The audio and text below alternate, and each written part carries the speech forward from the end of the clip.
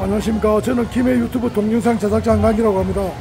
저는 지금 베트남 다낭에 어, 서널드 바나힐이라는 테마파크에 지금 오가 있습니다.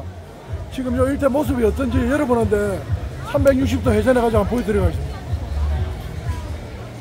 저 뒤에 보면 굉장히 많은 관광객들이 지금 즐기고 있습니다.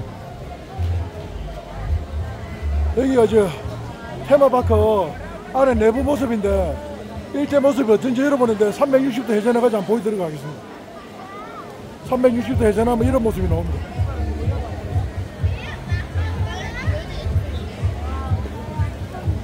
굉장히 테마파크를 화려하고 멋있게 잘 만들어 놓은 것 같습니다.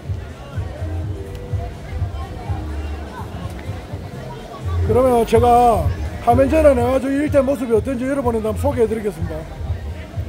어, 여기 선월드 바나힐이라는 테마파크인데 이 화면 전에는 아마 어떤 모습인지 여러분들 소개해드리겠습니다. 이게 화면 전에는 모습인데 360도 회전해가지고 일대 모습이 어떤지 소, 여러분들 소개 한번 해드리겠습니다.